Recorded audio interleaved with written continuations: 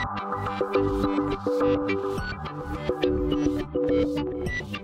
and welcome to my playhouse. And today we have a little project. I was asked in the in the comments of a previous video if a Lenovo X3650 Model 2 if that would run Server 2016 from Microsoft. And of course it um, haven't really tried that. So today I just thought that we would try that because I didn't exactly know what to reply to that comment because I hadn't tried it. There might be an issue so we're gonna try that. Uh, I have um, powered on an old server over here that I haven't had on for quite a while. It was actually complaining about having no hard drives but just to start it off easy I'm gonna um, I'm gonna be doing a bit of firmware upgrading uh, so that it um, it kind of have the newest firmware so for that I have a USB stick here that I've made that will firmware upgrade uh, Lenovo X3650 Model 2 and Model 3 so I'll see if I can get that up and running it has probably been a couple of years since I firmware upgraded them last. Not sure there is any new firmware, but well, it, it's worth to have a look. I can see that I've had uh, Proxmox on this one. Um, so we're probably gonna be messing that up. So um, getting access to the USB stick over here, I'm guessing that that might be USB storage that we have to boot off. Yeah, that seems to be working okay. I'll um, this takes a while so let's come back when it's when it's good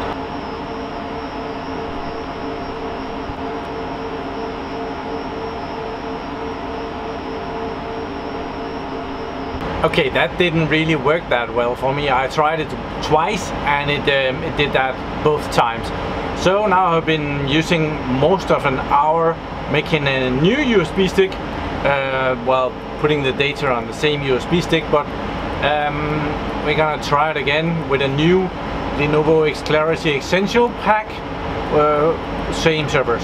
Okay, looks very similar. I got a new date, that's today, the 4th of August 2018, so let's update, same servers, let's see what happens. Not a lot. So I went into the computer instead of using USB sticks I attached to the computer through the remote management, the IMM that is on the server. Uh, and I mounted an ISO. I tried with this one. This is a rather old one. That one is from 2014.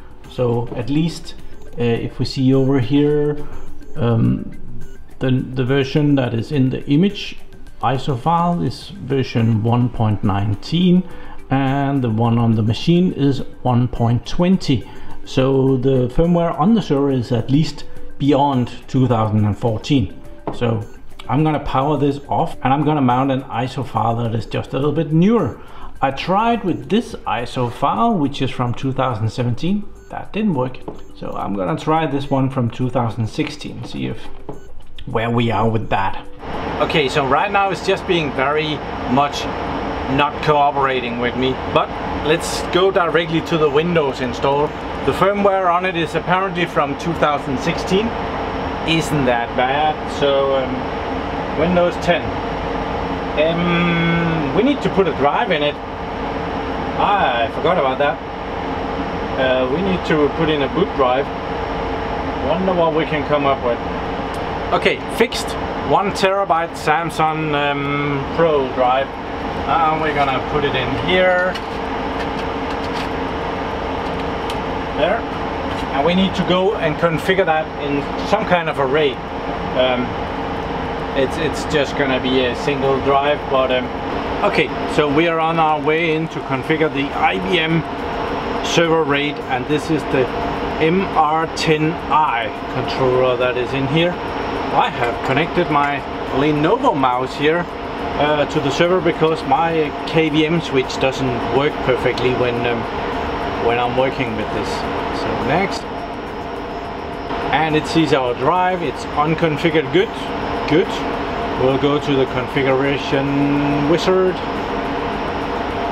Just add a new configuration there. Next. and as there is nothing on it and there is no other drives in the system I think it will be fine to just go with an automatic configuration and go next next next on that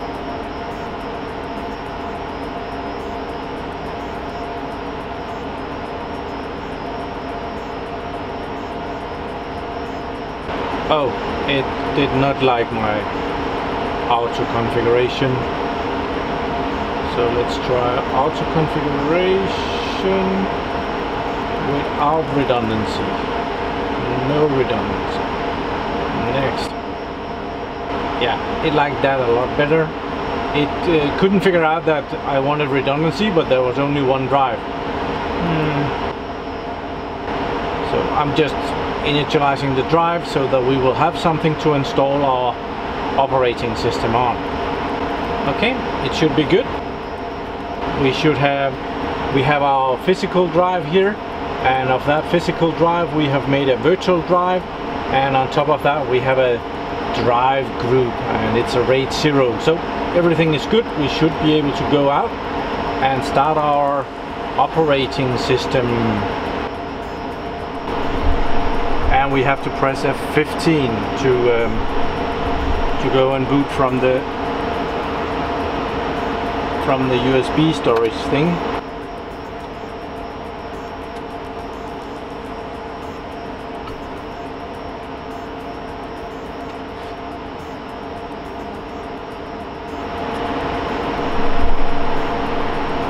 it starts the Windows installation. Let's see how far that okay, goes. So far so good. Um, it want to know what language to install.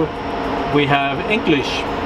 That's a lot of choices. Uh, Taiwan, I would like Danish. So let's see, Danish. Hit it. And keyboard as well. Uh, it isn't a Danish keyboard though, but well, never mind. I really should get a Danish keyboard. Hmm. So next, install now. Yes that was the general idea. It should come and tell us what drives we have available for installing. Uh, maybe we have yeah, have to select the version first. So this is the evaluation version. I just downloaded this from Microsoft's um, evaluation site. So we're just gonna be evaluating and we have 180 days to do that. So we have the standard or we have their data center version. So standard desktop experience. Thank you. Next. And we have the to agree to the terms. We don't have anything to upgrade from so we are doing a custom installation. It has found our SSD awesome. Next.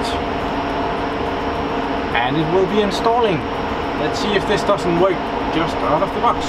Okay, I've been outside doing other things. Uh, I came in to check on this install and it's already booting. I am curious to see if it um, if it's completed or if it's just messed up. Okay, it seems to be booting Windows. So I guess I can remove my little USB stick again. Server 2016 takes up uh, a bit more data than my normal ESXi, so this is an 8 gigabyte USB stick. Normal ones are about 4 gigabytes, uh, and they're it's not really needed to be 4 gigabytes, but well.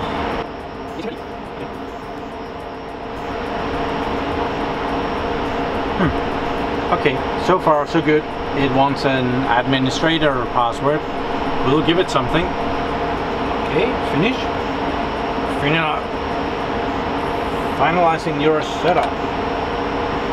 Okay, and it wants the password. Uh -huh.